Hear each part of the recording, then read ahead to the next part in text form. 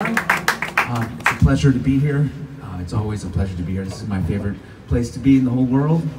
Um, and tonight is a very special night indeed. I'm joined by my trusted companions here. Paul Bollenback on the guitar, everybody. Put your hands together.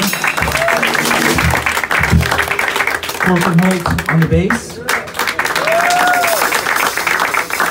And how about it for Jeff Tain Watts on the drums?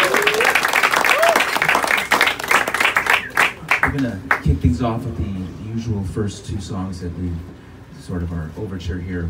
Uh, this first song is called Twin Dark Mirrors, and then we're gonna go into Eternal Return.